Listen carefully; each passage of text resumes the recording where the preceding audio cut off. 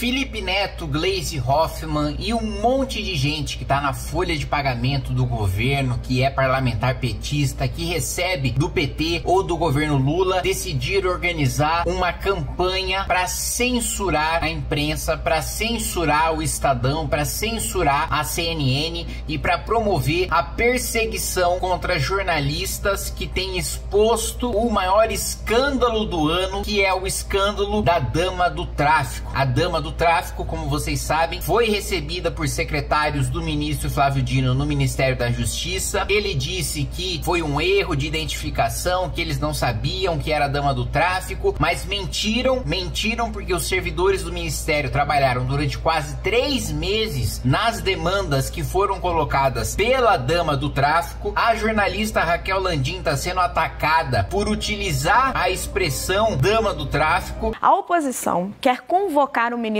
Flávio Dino para prestar esclarecimentos sobre as visitas da que está sendo apelidada como dama do tráfico do Amazonas, né, dizendo que ah não, porque você não pode chamar a esposa, né, de um líder do Comando Vermelho no estado de dama do tráfico só porque uh, o seu marido é um traficante, que ela não teria culpa nenhuma do marido dela ser traficante. Mentira! Mentiroso! Ela própria foi condenada por organização criminosa, ela própria foi condenada por 10 anos de cadeia, ela própria foi condenada pelo vínculo com o Comando Vermelho, por fazer parte da operação financeira do Comando Vermelho. Então não é uma esposa inocente que tá lá casada com um marido chefe de facção, sem saber que o marido é chefe de facção, sem conhecer nada sobre o Comando Vermelho. Pelo contrário, é alguém que sabe, participa, né, segundo a condenação judicial dos esquemas do Comando Vermelho e que agora tem acesso aberto direto aos ministérios, né, dos direitos humanos e Ministério da Justiça para ter as suas demandas encaminhadas, para ter as suas demandas analisadas. Muitas vezes um cidadão comum não consegue chegar, aliás, na maior parte das vezes, um cidadão comum não, não consegue chegar no Ministério da Justiça, não consegue chegar no Ministério dos Direitos Humanos. Quem precisa de um avião para ser levado para um hospital, para fazer uma cirurgia de urgência, muitas vezes não consegue, sabe a dificuldade que é para você conseguir um avião. Agora a dama do tráfico conseguiu por meio do ministério comandado pelo ministro Silvio Almeida, passagem e hospedagem paga com o nosso dinheiro. É de caiu da bunda.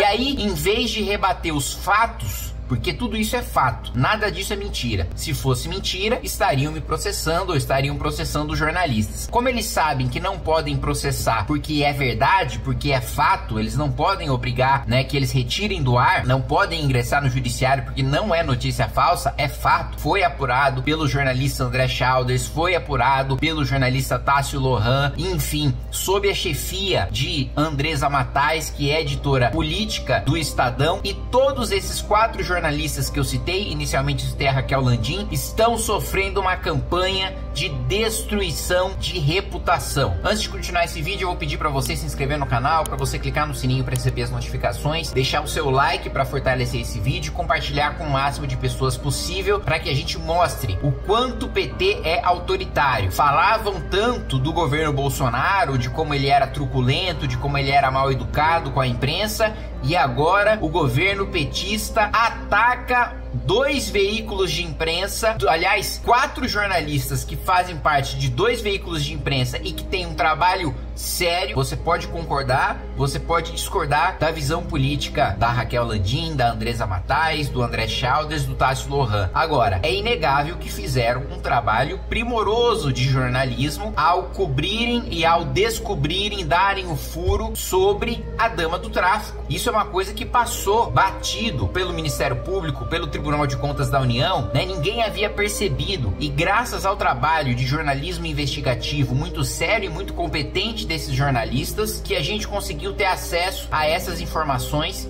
inclusive ingressar com pedidos de informação, requerimentos de informação para exigir explicações dos dois ministros, com a convocação dos dois ministros que também já é, protocolei essa semana. Nós vamos aprovar a convocação do ministro Silvio Almeida, o impeachment do ministro Flávio Dino também, que eu já ingressei com a ação e por aí vai. Todo esse trabalho só foi possível porque estes jornalistas tiveram o profissionalismo, a competência e a coragem de publicar a matéria sobre a dama do tráfico. E veja, foram jornalistas corajosos porque colocaram a própria vida em risco ao tratarem de, da segunda facção criminosa mais poderosa do país, que é o Comando Vermelho. E pior, tratar do relacionamento dessa facção com o governo federal, que também é composto por gente perigosa, por gente que produz dossiê contra seus adversários, por gente que utiliza a máquina pública para perseguir seus adversários. E agora, Felipe Neto. Felipe Neto, que estava há um tempo atrás pedindo arrego. Eu agradeceria muito se a gente pudesse encontrar um equilíbrio. Você não vai me ver falar de política, cara. relaxa. Falando que não é pra gente deixar as divergências políticas para trás, porque ele tava perdendo e apanhando, né, em relação à publicidade que ele foi pago pro Bis. Um monte de gente passou a boicotar o Bis por causa da propaganda do Felipe Neto, né? E aí ele reclama. Ser militante político, tomar posição, tem o seu custo. Nenhuma marca quer vincular, né? Nenhuma grande marca quer vincular o seu produto a uma visão político-ideológica, porque as empresas, as marcas querem querem vender para o máximo de pessoas possível. E isso inclui vender para gente de esquerda, de direita, de centro e por aí vai. A partir do momento que o influenciador toma uma posição política de maneira tão ostensiva quanto o Felipe Neto, que ainda caçava outros influenciadores que ousavam não se posicionar politicamente, como se fosse uma obrigação do influenciador se posicionar, um dublador, um ator, um cantor, se posiciona politicamente se ele quiser. Se ele não quiser, não é papel dele. Não é papel de artista se posicionar politicamente. Não é obrigação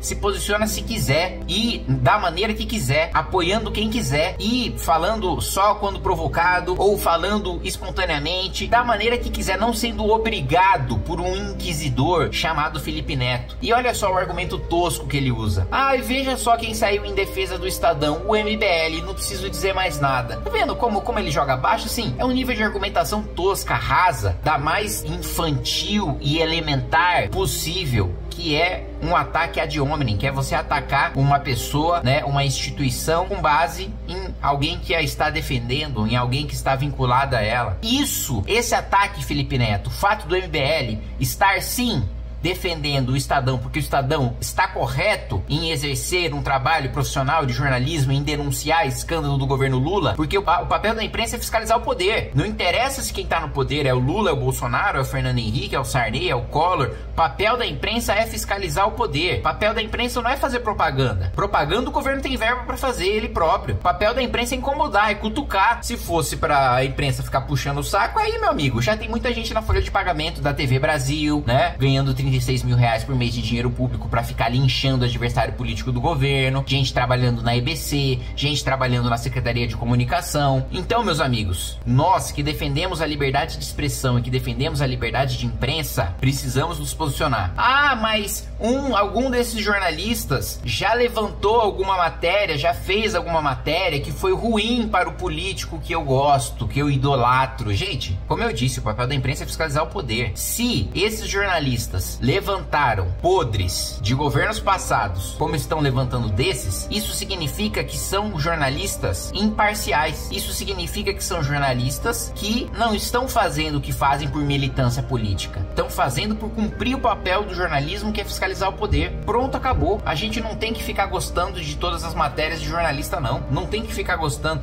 Né? Ah, levantou um podre contra alguém que é do seu lado, vamos supor é de direita ou é do MBL. Pô, se é fato, se não é notícia falsa, é minha obrigação, em sendo membro do MBL, rebater a notícia no seu mérito. Falar, olha, se teve uma denúncia aqui grave e verdadeira contra alguém do meu campo político ou do meu movimento político, nós vamos punir esse alguém do meu campo político, do meu movimento político, vamos cobrar, vamos fiscalizar. Se for falso, aí nós vamos para cima do jornalista. Se for notícia falsa, aí nós processamos o jornalista, nós exigimos direito de resposta, indenização e por aí vai, como eu já fiz por diversas vezes quando fui alvo de notícia falsa de jornalista, até hoje processo me ocorrendo na justiça. Né? Agora, quando levanta a verdade, quando levanta fatos, atacar porque ele levantou fatos que prejudicam a, o seu político de estimação, sua visão ideológica, isso é autoritarismo. Isso não é defender liberdade de imprensa, é defender só a imprensa amiga, só a imprensa que bate nos seus inimigos e que passa pano pro seu governo, como a Rede Globo tem feito muito com o governo Lula de maneira espantosa. Eu conheço deputados petistas que defendem menos o Lula do que a Rede Globo. É, chega a ser nojento ver uma cobertura militante. Aí sim, não é um jornalista profissional, é um militante político. Ele não tá lá para levantar erros de,